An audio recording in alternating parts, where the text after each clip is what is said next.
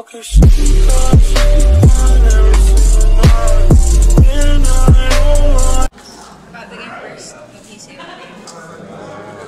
showed some character out there coming back, uh, down pretty big with a crowd like this, uh, especially knowing this is one of the games that could knock us out of even having a potential to go to the playoffs. So uh, I think we fought hard to the end.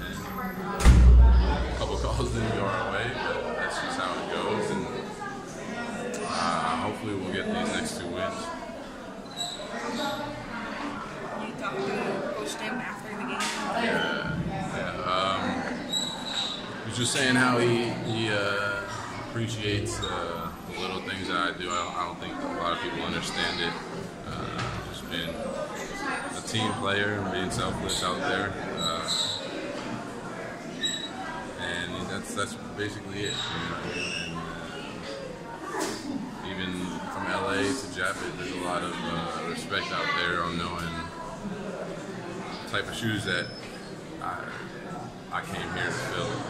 Obviously, it's not what I'm used to, but it's a culture that we're trying to change to try to get uh, into the playoffs and get deep into the playoffs. Coach Tim recalled that you had really good times together.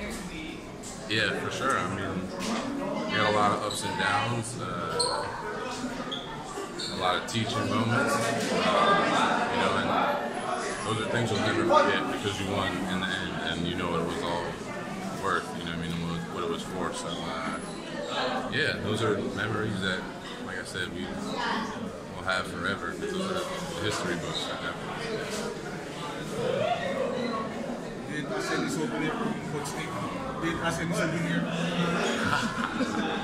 don't think I really fit into his shirt or his tie, so uh, no, just just memories, you know, and, and, and respect and understanding what we've accomplished in the past, and uh, how he's still trying to accomplish more, just like I am. So hopefully, this isn't the last time that we Focus on everything